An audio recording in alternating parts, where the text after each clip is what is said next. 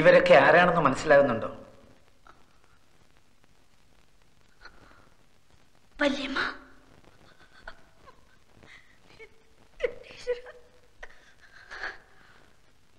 ശങ്കരമാവൻ വേണോട്ടൻ ദാ അതാരാണെന്ന് മനസ്സിലായോ?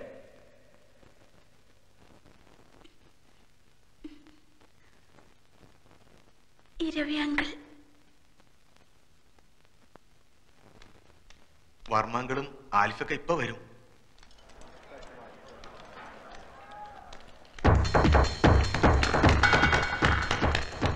ഓടിക്ക മോനെ ഓടിക്കോ. അവളെല്ലാം തത്ത പറയണ പോലെ പറയണു.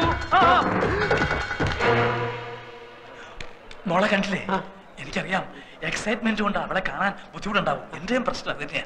വന്നാട്ടെ. വന്നാട്ടെ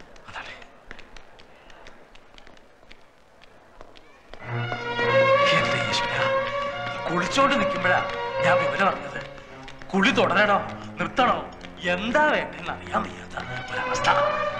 ശബ്ദത്തിന്റെ ഉച്ചസ്ഥായി മൗനം എന്ന് പറഞ്ഞതുപോലെ സന്തോഷത്തിന്റെ പാരമ്യത്തിൽ കണ്ണീര് വരും. ചിലപ്പോ ഹൃദയസ്തംഭനം വരെ ഉണ്ടാവാം. എന്റെ പ്രാർത്ഥന ഈശ്വരൻ കേട്ടു. അല്ല നമ്മുടെ പ്രാർത്ഥന ഈശ്വരൻ കേട്ടു. ആ.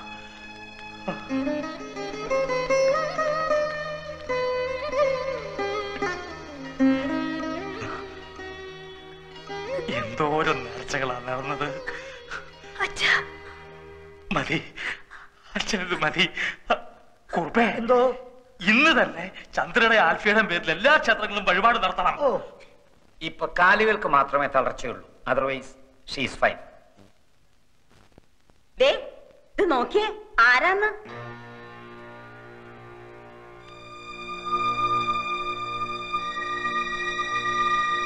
ആരാ?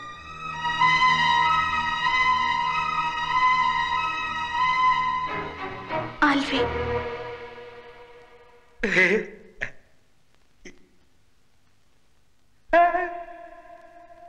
ഇനി നമുക്കെല്ലാവർക്കും പുറത്തേക്കൊന്ന് ഇറങ്ങിക്കൊടുക്കാം. ഒരു അഞ്ചു മിനിറ്റ് ആൽഫിക്കും ചന്ദ്രയ്ക്കും മാത്രമായിട്ട്. ഓഫ് കോഴ്സ് പാടോ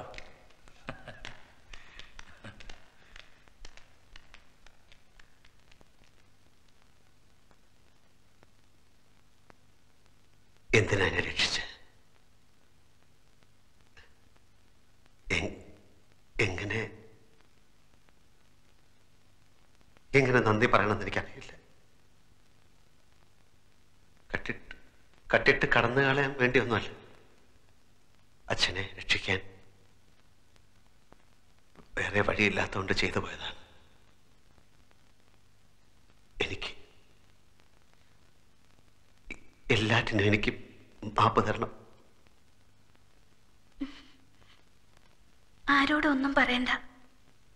അപ്പു പോയി ആ പണം അയക്കൂ.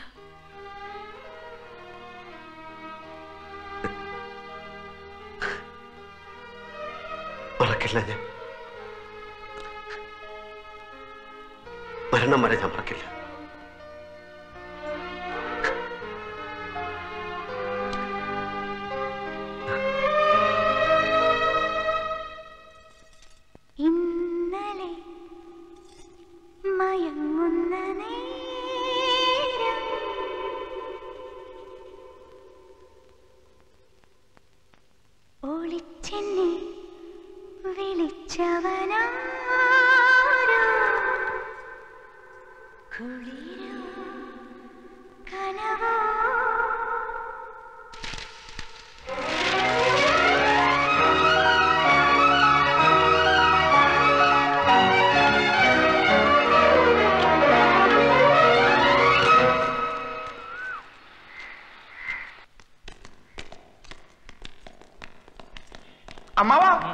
അമ്മാവാ ഞാനൊരു സത്യം പറയാൻ പോവാണ്.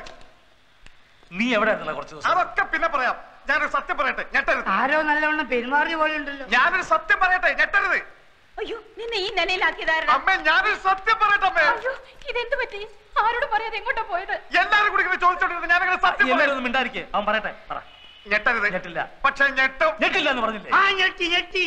ഇവിടെ ആൽഫി എന്ന് പറഞ്ഞ് നടക്കുന്നവൻ ആൽഫി അല്ല അപ്പക്കുട്ടനാണ്. കുറ്റിപ്പുറത്ത് ഗോവിന്ദൻ നായരുടെ മകൻ ചേരിൽ അപ്പക്കുട്ടൻ നായർ തെളിവ് തരാം. അപ്പക്കുട്ടന്റെ പെങ്ങൾ സൗദാമിനി അളിയൻ രവീന്ദ്രൻ നായർ ഞെട്ടി. എല്ലാവരും ഞെട്ടി. ഞാൻ പറഞ്ഞില്ല ഞെട്ടരുന്ന് ഇതാണോ ഇത്ര വലിയ സത്യം? എന്നാൽ ഞാനൊരു സത്യം പറയാം. അപ്പക്കുട്ടൻ തന്നെയാണ് ആൽഫി.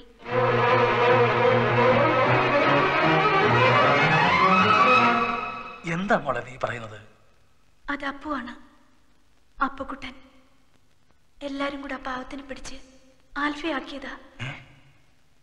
ഇരുവി എന്താണ് കേൾക്കുന്നത്? ഒന്നും മനഃപൂർവമായിരുന്നില്ല. സംഭവിച്ചു പോയതാ ഓരോരോ ചുറ്റുപാടിൽ. നടന്നതൊക്കെ ശരിയോ തെറ്റോ എന്ന് നോക്കിയിട്ട് ഇനി കാര്യമില്ല. ഹരിച്ചു നോക്കിയാലും ഗുണിച്ചു നോക്കിയാലും ലാഭമല്ലേ ഉള്ളൂ. എനിക്ക് ഇപ്പോഴും ഒന്നും മനസ്സിലാവണില്ല. അപ്പൊ ആൽഫി എവിടെ?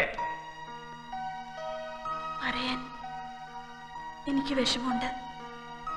പറയാതിരിക്കാൻ കഴിയാത്തത് കൊണ്ട് മാത്രം പറയാ ലേഖ പറഞ്ഞില്ലേ? നീണ്ട മുടിയുള്ള നീല കണ്ണുള്ള എപ്പോഴും ഒരു കള്ളച്ചിരിയോടെ ധാരാളം തമാശകൾ പറഞ്ഞെന്നെ പൊട്ടിച്ചിരിപ്പിച്ച ചുറുചുറുക്കുള്ള ആൽവി. മനസ്സ് മുഴുവൻ കൊടുത്ത് ഞാൻ സ്നേഹിച്ച ആൽഫി വിവാഹത്തിന് തലേന്നാണ് ഞാൻ അറിഞ്ഞത്. അയാൾക്കൊരു ഭാര്യയും കുട്ടിയും ഉണ്ടെന്ന് ചോദിച്ചപ്പോ ഒരു കള്ളച്ചിരിയോടെ അയാൾ എന്നോട് പറഞ്ഞു ജീവിതം ഒരു വലിയ തമാശയായിട്ടേ അയാൾ കണ്ടിട്ടുള്ളൂ എന്ന്. ആൽഫയുടെ തമാശകളിൽ ഒന്നായിരുന്നു ഞാനും വെറുത്തുപോയി. ഞാൻ എന്നെ തന്നെ വെറുത്തുപോയി. നിങ്ങളോടൊക്കെ എന്തു പറയണം? നിങ്ങളെയൊക്കെ എങ്ങനെ നേരിടണം? എന്നാലോചിച്ച് തളർന്നപ്പോൾ ആത്മഹത്യ എന്നൊരു വഴി മാത്രമാണ് ഞാൻ മുന്നിൽ കണ്ടത്.